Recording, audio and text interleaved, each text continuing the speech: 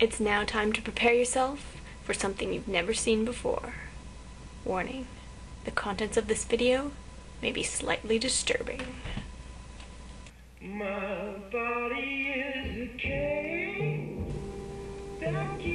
Hey, so it's like me, Josephine.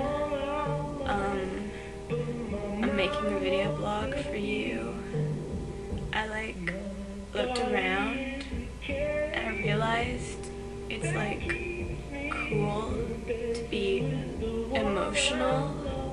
So I thought I would like, I don't know, get in touch with my emotions this week. Kind of like, I wrote like a poem um, I don't know if it's any good, but that's okay because it's cool for poetry not to be good because then people can say shit about your poetry and you can feel sad about it.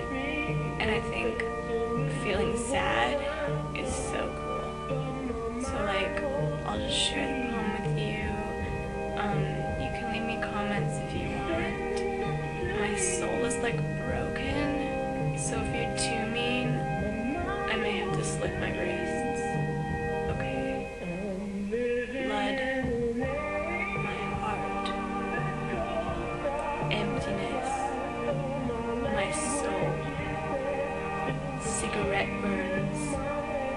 Arms, tears, my eyes. I spent like all night writing that, and it like made me feel a bit better. I realized happiness is so freaking fugly. You just like,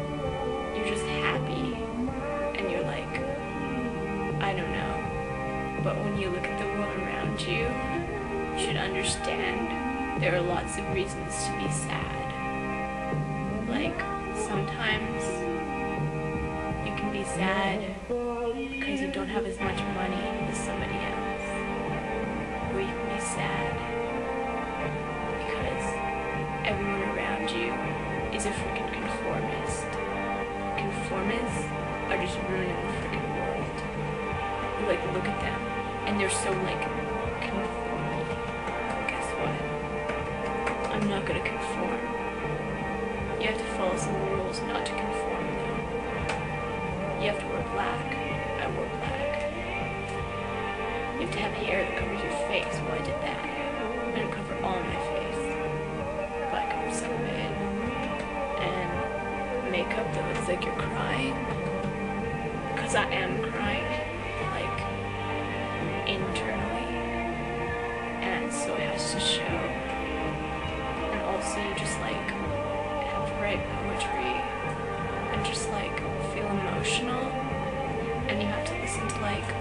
Chemical romance and stuff like that. My romance is chemical too. Very chemical. Drugs are cool kids. I don't care what everybody says. Drugs are cool. So swallowing whole bottles of painkillers and uh, cutting your wrists with razors. Guess what? If you cut your wrists with razors, right. And I know you want to be cool. It's cool not to conform. All you people with your like happiness, yeah, you're just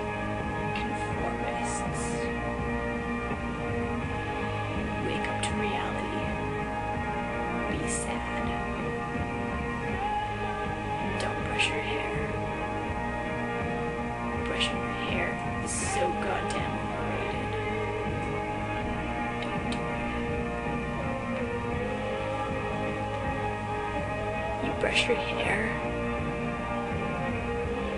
It's like Satan gets into your soul through the hairbrush. Although, it might be kind of cool to have Satan in your soul. Well, think about it.